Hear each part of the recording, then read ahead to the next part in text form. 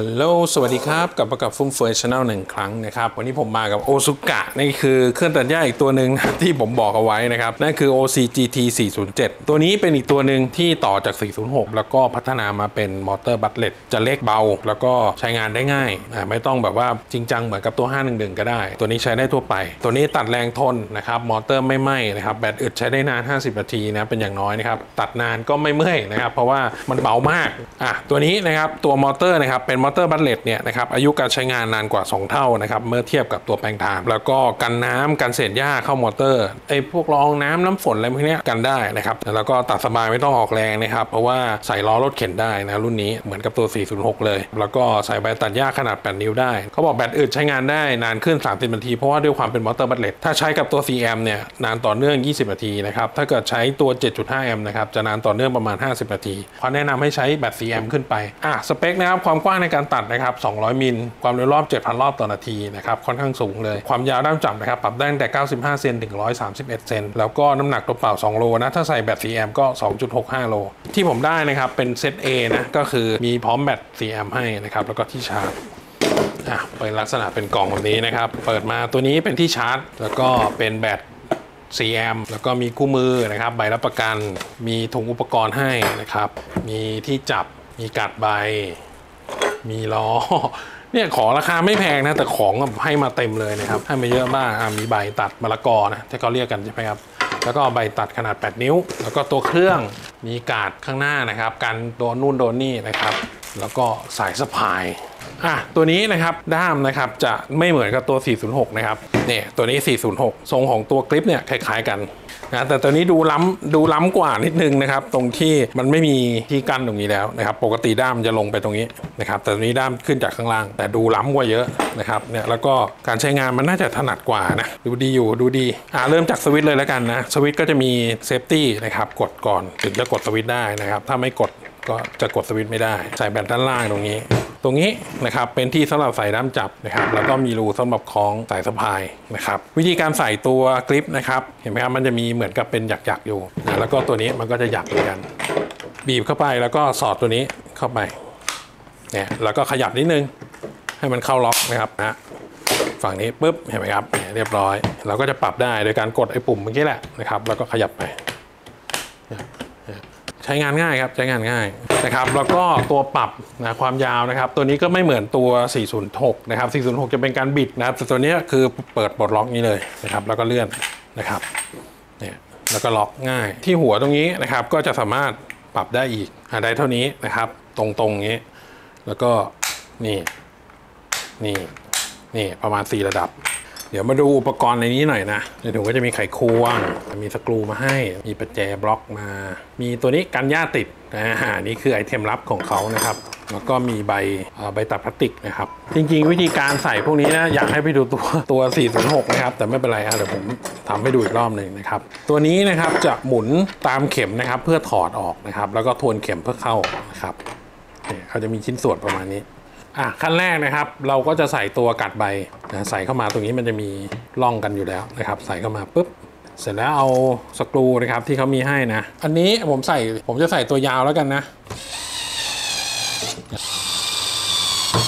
อะเรียบร้อย เสร็จแล้วนะเอาตัวกันหญ้าติดนะครับ ใส่เข้าไปมันก็จะมีน้ำหมุนให้พอดีตรงรูมัน อันนี้ใส่ตัวสั้นนะครับ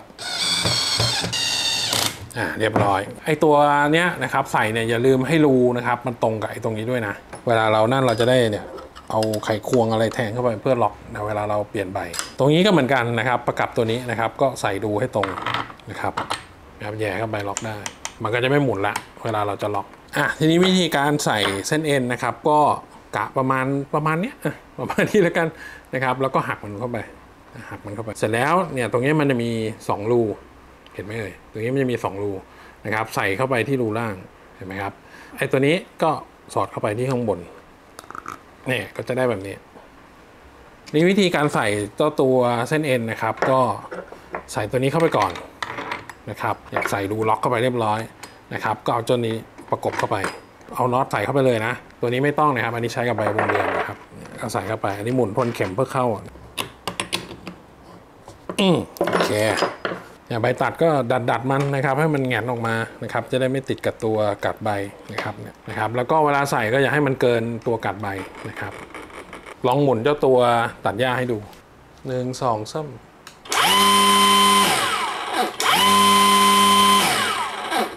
โอ้มอเตอร์ Brushless แรงหายห่วงแน่นอน ตัวเส้นเอ็นเนี่ยใช้ง่ายดี ทนด้วยนะครับ ใบมะละกอกับใบวงเดือนเนี่ยใส่เหมือนกัน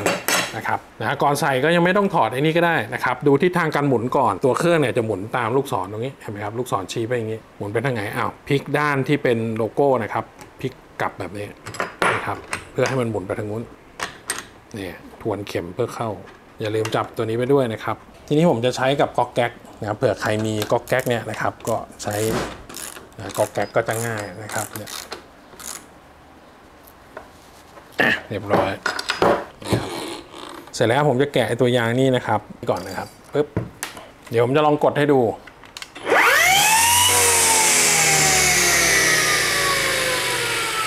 แรงครับแรงนะถือว่าใบค่อนข้างนิ่งนะครับ ทีนี้มันยังมีอีกหลายส่วนนะที่ผมยังไม่ได้ติดตั้งเข้าไปนะครับ อย่างเช่นตัว กาดด้านหน้าตัวนี้ ใส่เข้าไปด้านหน้าเพื่อกันเดี๋ยวเวลาเราไปชนพวกกำแพงไปชนพวกต้นไม้ใหญ่ๆเนี่ยมันก็จะกันไว้ได้นะครับแต่นี่ผมไม่ติดละกัน แล้วก็อีกตัวหนึ่งนะครับก็คือตัวล้อนะครับตัวล้อเนี่ยเขาจะใส่ได้สองที่นะครับที่หนึ่งก็คือใต้กาดใบตัวนี้ มันจะมีล็อกของมันอยู่แล้วน่ะใส่เข้าไปเห็นไหมครับเดินเข็นแบบนี้ได้ แล้วก็อีกจุดหนึ่งก็คือตัวนี้ ใส่เข้าไปมันก็จะเป็นอย่างนี้ เพื่อเดินเข็นตามขอบของสนามนะครับพวกหญ้าที่มันเกินมาระหว่างตัวสนามหญ้ากับปูนเนี่ยเราก็เดินเข็นอย่างนี้เลยเลยตัดชืบชืบชืบชืบชืบแล้วก็ยังมีล้อเสริมอีกซึ่งล้อเสริมเนี่ยก็จะเป็นล้อด้านข้างแบบนี้นะเหมือนตัว 406 นะสามารถเข็นได้นะครับแบบยาวๆเลย พอมันเป็น 407 เนี่ยตัว Brushless เนี่ยนะครับมันจะเป็นยังไงบ้างนะครับเดี๋ยวลองไปลองตัดกันดูนะครับไปนี่ครับนางแบบกิตติมศักดิ์อยากตัดมาก ชอบจริงๆนะการตัดหญ้า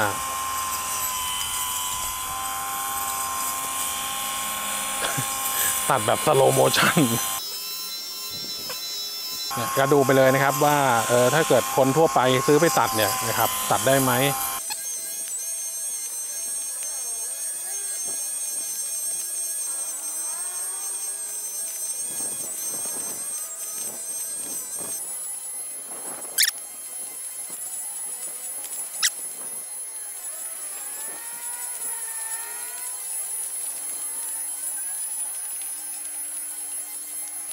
อะกอนี้นะครับเนี่ยมันจะเป็นหญ้าแข็งๆอย่างนี้เลยอะลองดูซิว่าจะเป็นยังไงบ้างอะเชิญครับนางแบบเนี่ยสบาย แข็งๆนี่เอาอยู่หมดนะครับ พวกต้นไม้เล็กๆเนี่ยได้หมดเลยดูสบายมอเตอร์บัตเลตนี่คือเหลือๆนี่ดูนี่มันตัด อย่างนี้เลยนะครับ เนี่ยดูแข็งแข็งแข็งแข็งอย่างนี้เลยนะครับ ตัดสบายอะเดี๋ยวตัดต้นไม้ให้ดูนะครับอะตัวนี้เนี่ยเรียบร้อยอืมอืมเรียบร้อย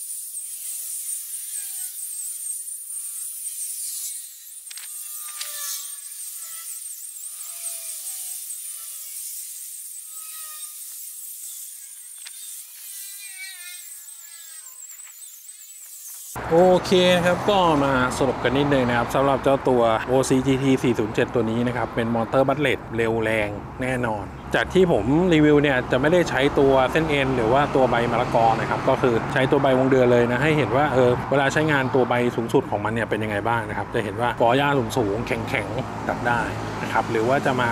ตัดตามพื้นหญ้าแบบสนามหญ้าแบบนี้ก็เกลี่ยง่ายๆนะครับด้วยการที่มันบังคับนะตัวหัวเนี่ยมันขยับได้นะครับก็สามารถเนี่ยวางปาดลงไปบนพื้นหญ้าแบบนี้สบายๆเลยสวยๆเลย ตัดได้ง่ายเพลินๆ แล้วก็ที่สำคัญนะมันก็ยังใส่ล้อได้นะครับตัดตามขอบปูนได้นะครับตะแคงได้ หรือจะใส่ล้อใหญ่ตัวเสริมที่เหมือนตัวตัว 406 ก็สามารถใส่ได้เหมือนกัน นะครับออปชั่นเนี่ยเหมือนกันหมดเลยเซต A ที่เราผมรีวิวเนี่ยนะครับก็อยู่ที่ประมาณ 2,990 บาทเท่านั้นเองนะครับได้แบตไปด้วย 1 ก้อน แล้วก็ที่ชาร์จก็ถือว่าราคาไม่ได้แพงมากนะ สำหรับความเป็นมอเตอร์ Brushless ของเขาด้วย ตัดได้ดีตัดได้แรงด้วยนะครับใครสนใจนะครับเดี๋ยวผมจะวางลิงก์ไว้ที่ใต้คลิปนะครับลองเข้าไปหาซื้อดูแล้วกัน ถือว่าเป็นเครื่องตัดหญ้าเบาๆแบบนี้นะครับที่ผมว่าสุดแล้วนะเพราะเป็นมอเตอร์ Brushless ด้วยนะแล้วก็มีความเบาแล้วก็กะทัดรัดแบบนี้สำหรับวันนี้ฟุ่มเฟือย Channel ขอลาไปก่อนนะครับถ้าชอบกดไลค์นะครับถูกใจฝากกด subscribe ด้วยนะครับไปแล้วครับ สวัสดีครับบ๊ายบายบ๊ายบายแจ่มครับแรงไปแล้วครับบ๊ายบาย